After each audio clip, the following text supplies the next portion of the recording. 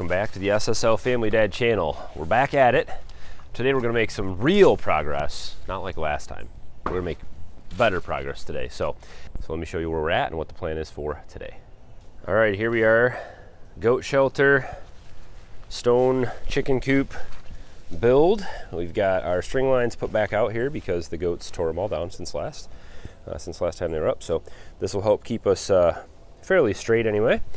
Uh, we're not too too far off. We got a little little adjustment to do right here, but uh, we're gonna bring the level up of the uh, stone wall to the top of the window frame. So we're gonna we're gonna put stone all the way up to here. So we don't have that much stonework left to do. That side's almost done. Uh, we got a little more stonework to do on this side, so I'll probably start here. One of the things I learned was uh, I start at the lowest point so that this has time to start to set up. Uh, when I put one one layer on here, by the time I get over here, finish the tops of this and, and come all the way around to this side, then I can come all the way back to here and this stuff will be set up enough where I can start to stack another course on top without the rocks falling off and things. Once we get up to that level, we're gonna put our 2x4 joists uh, right across here. So I've got a bunch of eight foot treated 2x4s. We'll run a bunch of joists across.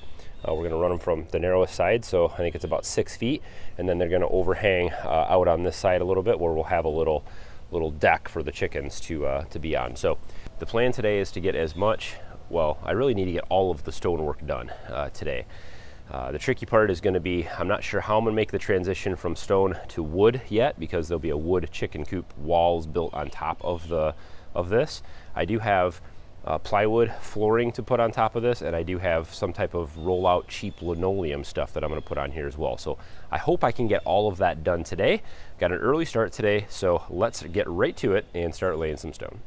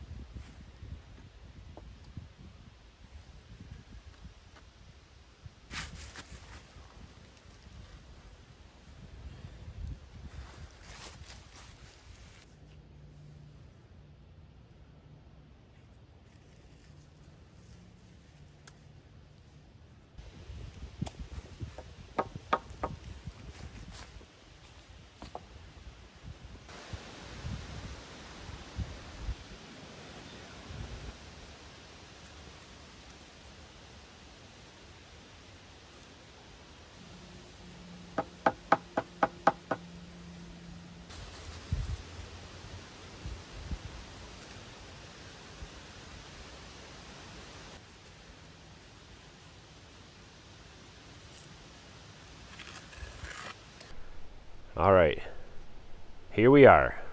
All the joists are in. The overhang, I think is gonna be about the perfect distance.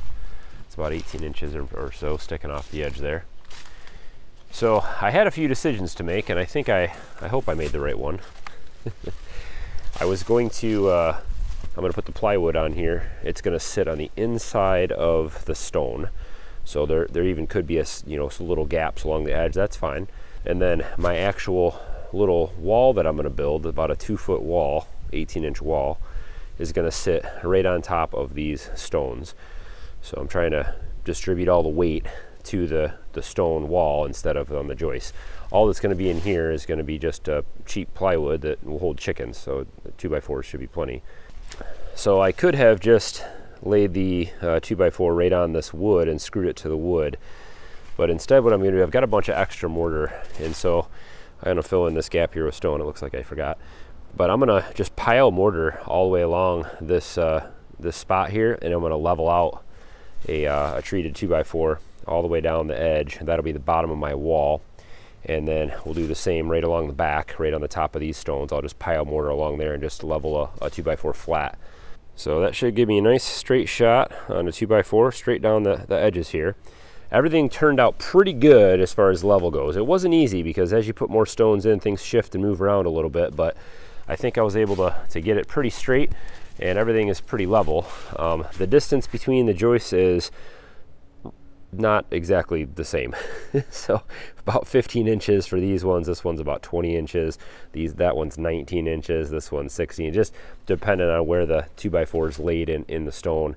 You know where where there was a flat spot to put it. So so that's what I have left, and I've got a, another bag and a half if I need it. But let's get this mortar piled on here and get some two by fours set in place.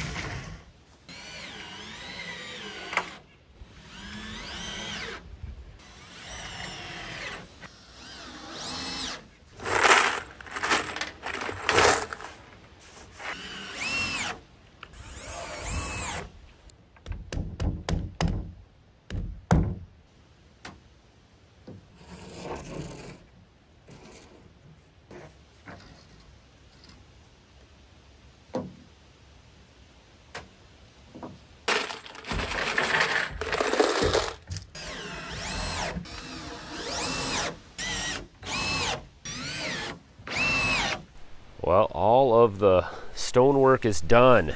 Put the mortar away, I put the cement mixer away. So done with that part. The, the walls will, will be here. The nesting box, I have a really cool nesting box coming that's gonna come off the back here. Uh, then, because this is the, the shortest side of the coop because it's uphill. So the kids can actually reach this side. It's probably only three feet tall back here. And the wall on the side here will have a little a little uh, door that, that the chickens can come out, a little automatic door. And this will be decking on the on the side here. And the roof pitch I'm hoping to keep pretty steep, but I'd like to have the roof actually come down and overhang the little deck and the door. And then I'll put a little chicken ladder off the back side of it here. It's gonna have to be tricky because uh, it needs to be goat proof, but chicken friendly. So we'll, we'll figure that out because I don't want the goats getting up there. And then on the far side of it, we'll have a big opening where you could actually get into it if you needed to get into it to get a chicken or catch something or clean something out or whatever. Uh, but then there'll be a clean out uh, tray, not tray, but little gap at the bottom there. So you can reach in here with a, with a rake or something. I'll make something and just drag the, the wood shavings out or even open the nesting box up this side and push the stuff, you know, all out the other end and then just clean it up. So I can't put the linoleum on today. I'm actually gonna wait um, a day or two. I don't wanna climb on this thing yet because the mortar is not set and I don't want the joist to, to dig into the, to the mortar or anything like that. I don't wanna get up here and just wiggle stuff around. And uh, that linoleum, I'm gonna use construction adhesive and, and I'm gonna smear it all over this whole thing and then roll that linoleum out. It's one sheet of linoleum and uh, I think you call it linoleum. I don't know what is vinyl flooring, maybe vinyl something. Cheap stuff. It was 20 bucks. so uh, that'll roll out on here and that'll be an easy to clean, you know, waterproof uh, surface for this. And, uh, and that'll be perfect for these chickens. So throw wood shavings in there. Uh, they can mess all in, all in it and stuff will just sweep right out uh, it, it's going to work great. It worked great in our old Suburban coop, and, uh, and it's going to work perfectly here. I had to get the stonework done today. Today was my, my last chance. It's going to get down into the 20s tonight, and so I got to clean up all these hoses and put all the water away um, before all that stuff freezes up. And so uh, I had to get all that stuff done uh, before before that came. So we're done with all the mortar work. We're done with all the stonework. I can put all those things away. I'm so so happy and uh, this the rest of this will go very quickly. So hopefully you guys have been enjoying this series. It has been a long running one, but uh, certainly a lot of fun. And we're to a really exciting point now. We're, uh, we're kind of at the, the, the, pinnacle of this build. And from here on out, it's going to go a lot quicker. So stick around. Uh, probably the next couple weeks, we'll be, we'll be keeping this up. I got to get these chickens in here before winter sets in. So stick around for more videos on the chicken coop goat shelter build. And uh, let me know what you guys think. I'd love to hear from you. Don't forget to hit thumbs up on the video. And as always, guys, thanks for watching. Have a good one.